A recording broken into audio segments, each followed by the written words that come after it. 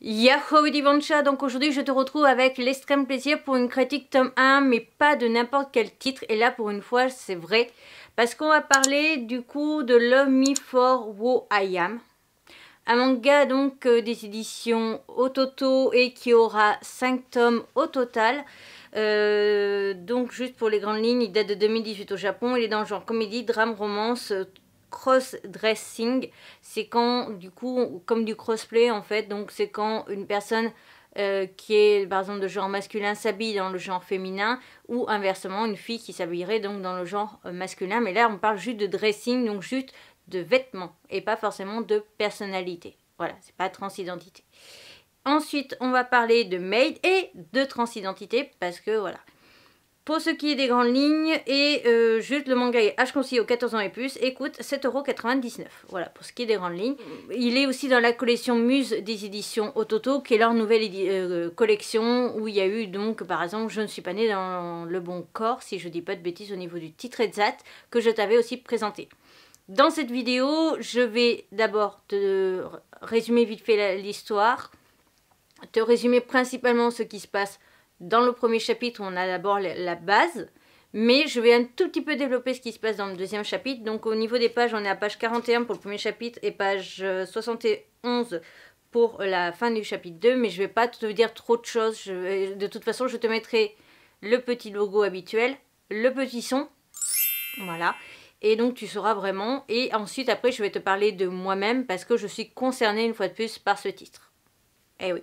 Donc la vidéo risque d'être un peu longue, donc si jamais, fais une pause, prends-toi à boire, à manger, etc. Donc on va juste parler vite fait de l'esthétique.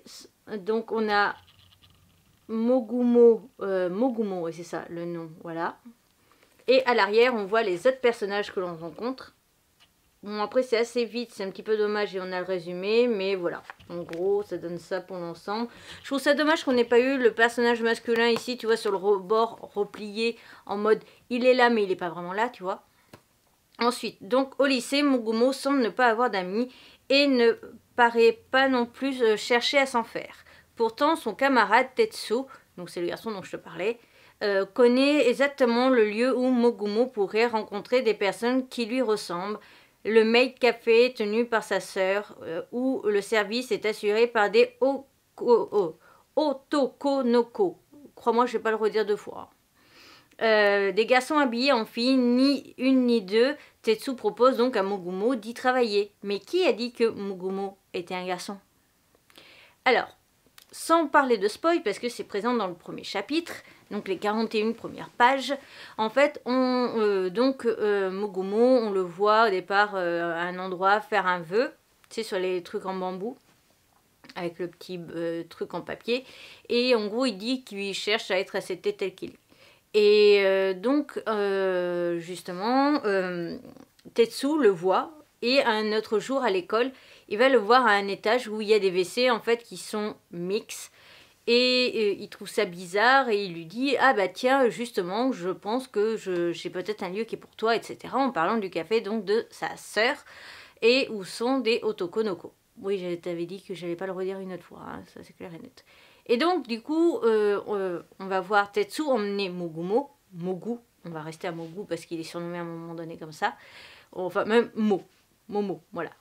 Et donc, en fait, euh, il va emmener Momo au café de sa sœur et euh, lui dire ben voilà euh, regarde là les trois autres garçons ils sont comme toi ce sont des garçons à l'origine enfin ces trois personnes ces trois maids ce sont des garçons à l'origine donc un peu comme moi qui s'habillent en fille juste pour entre parenthèses le fun. Et donc voilà il résume ça à ça.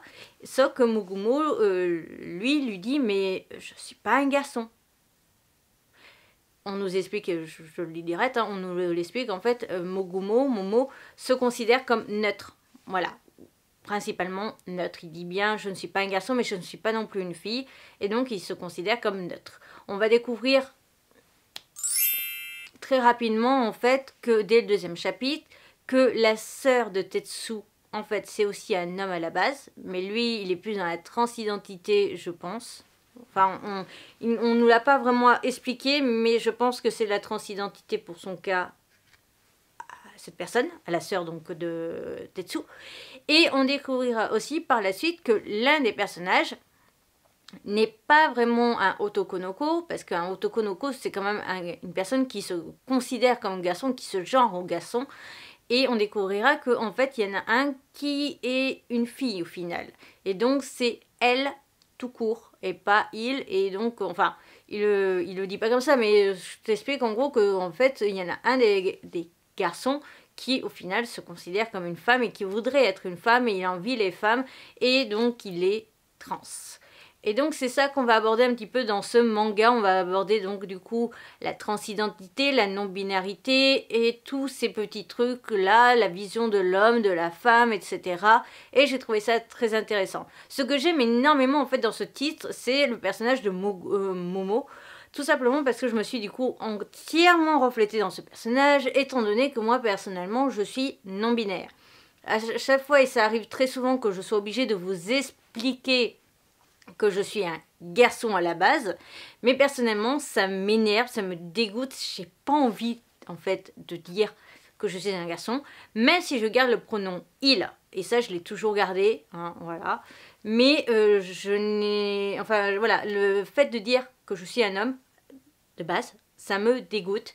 Parce que donc, il faut savoir, je le redis une fois de plus, il y aura des vidéos dans la barre d'infos, que euh, j'ai subi des attouchements enfants de 8 à 12 ans et que après j'ai été une seule fois en couple et que mon ex me violait, etc.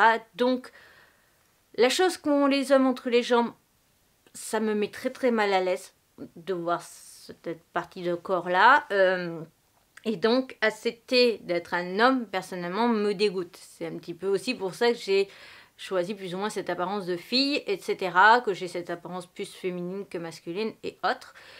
Mais, donc, euh, bah, je suis comme Mogumo. Je ne suis pas un garçon, mais je suis pas non plus une fille. Je suis neutre, je suis ni l'un ni l'autre, et je suis ce que je suis. Et je voudrais qu'on m'accepte tel que je suis, et je voudrais, en fait, ne pas avoir... Alors, moi, je le dis pour vous, pour vous expliquer, pour que vous compreniez, parce que je suis aussi sur les réseaux. Et donc, je me dis que ma voix peut euh, peut-être aider des personnes.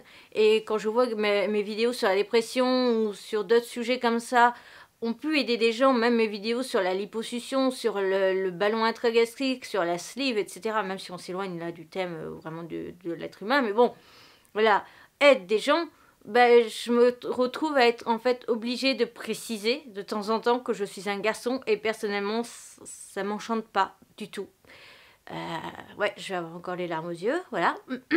Donc j'ai fait récemment une vidéo d'ailleurs pour vous expliquer par rapport à ma non-binarité, etc. Et comment je voyais les choses parce que en fait euh, j'ai une amie qui est venue donc chez moi en décembre et qui a su bien m'aider en fait à visualiser par rapport à ça parce qu'il fut un temps où je m'étais perdue mentalement et où je ne savais plus si je devais pas être elle en fait. J'étais en bug, est-ce que je suis toujours non-binaire ou est-ce que je suis elle, etc. Et puis il y a eu des trucs qui sont passés en novembre qui ont fait que j'étais là, non c'est pas possible que je sois elle. Et euh, donc là ma copine Laura m'a aidé et donc m'a vraiment aidé à visualiser tout ça. Donc je suis toujours et je reste non-binaire, voilà. Et ça reste il. Mais toujours est-il, j'ai trouvé ça très intéressant parce qu'on voit vraiment la souffrance de Momo pour le fait d'être un, homme à la base. J'aime pas dire ça, mais voilà pour t'expliquer. Et mais euh, il le dit aussi, il se euh, enfin Momo se considère absolument pas non plus comme une fille.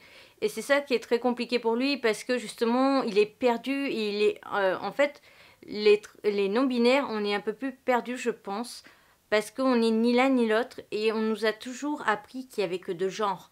Donc même les personnes trans, euh, vu qu'elles s'identifient à un genre quand même, je pense qu'il y a moins de tout ça. Le pire, ça doit être, je pense, gender fluide.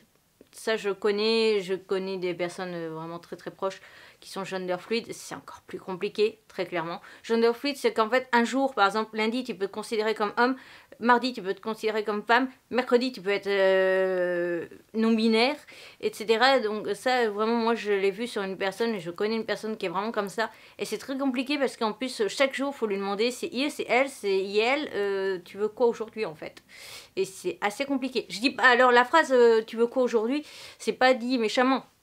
C'est juste que chaque jour, faut reposer la question pour être sûr de ne pas vexer. Et c'est vrai, c'est une personne en plus qui se vexe là-dessus. Euh, bah oui, mais bon, tous les jours du change, quoi. À un moment donné, soit sympa, mais euh, voilà. Donc, j'ai trouvé ce manga vraiment très intéressant. Et maintenant, on va prendre du recul juste en tant que lecteur qui est, euh, qui est dans, enfin, concerné par le sujet. Je trouve le manga très intéressant parce que justement, on aborde ça de façon très douce. On aborde ça aussi de façon, comment dire bah, on marche sur des œufs, justement, on nous montre bien que c'est des thèmes compliqués, que c'est des thèmes compliqués à comprendre et à gérer soi-même, à expliquer aussi aux autres, à faire comprendre son point de vue aux autres, parce que par exemple, là, on a un moment donné où ça coince avec le mot otokonoko, et euh, justement, on a ce truc de j'ai besoin d'être de dire que je suis un otokonoko il y en a c'est je peux pas dire que je suis un otokonoko parce que ça voudrait sous-entendre qu'à la base je suis un homme et c'est impossible et d'autres trucs comme ça. Et j'ai trouvé vraiment le manga très intéressant et aussi beaucoup dans la bienveillance parce que justement, la sœur de Tetsu euh, vraiment respecte tout le monde et veut que tout le monde puisse être soi-même. Et c'est le but aussi de ce café, ce café-restaurant, parce qu'ils font aussi la nourriture. Mais c'est le but de ce restaurant justement de prôner le respect en ce qui concerne les serveurs. Et donc c'est ça qui est vraiment génial parce que c'est un endroit où ils peuvent être ce qu'ils veulent être. Euh, ces personnes-là peuvent être qui elles veulent. Et ça, c'est génial parce que rares sont les lieux ou les trucs comme ça qui sont aussi safe. Et ça, j'ai trouvé ça très intéressant et super sympa. J'ai vraiment aimé le, premier volume. Après, le seul truc qui me déçoit un petit peu, c'est qu'il soit qu'en 5 volumes. Je peux comprendre, parce que ça fait un animé de 12 épisodes, je trouve, et donc ça peut correspondre. Mais j'aurais aimé aussi voir quelque chose d'un peu plus long, peut-être 10 euh, tomes. Pas plus, mais 10 tomes, je pense que ça aurait pu être intéressant.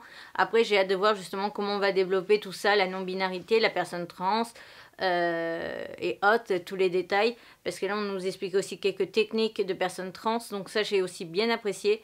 Et donc, j'ai hâte, vraiment très très hâte de découvrir la suite. Je te ferai une vidéo du coup à la fin quand il y aura eu le cinquième tome. Je me ferai le plus rapidement possible la vidéo. Crois-moi, lui, il sera en priorité maximale, ce titre-là. Voilà. Donc bref, cette vidéo est donc déjà terminée. J'espère de tout mon cœur qu'elle t'aura plu et qu'elle t'aura permis de comprendre peut-être un autre genre de personnes que tu ne connais pas. Je trouve ça vraiment de plus en plus intéressant parce qu'on a de plus en plus de maisons d'édition qui nous parlent de thèmes comme ça. Si on a eu asexualité quand même, on a eu la transidentité plus d'une fois, on a donc maintenant le non-binaire, euh, la romantisme et oui, la sexualité. Donc euh, vraiment très intéressant et je suis fière des maisons d'édition. Franchement, si vous êtes une des maisons d'édition qui a proposé un de ces titres-là, je vous remercie. Voilà. Précédente vidéo ici euh, de Ototo, la playlist Ototo, mm, mes réseaux sociaux, mon compte Vinted, etc. Dans la barre d'infos et tout, tu as plus d'infos, tu auras le lien des vidéos citées, etc. Et sur ce, je te retrouve bientôt pour une nouvelle aventure. À bientôt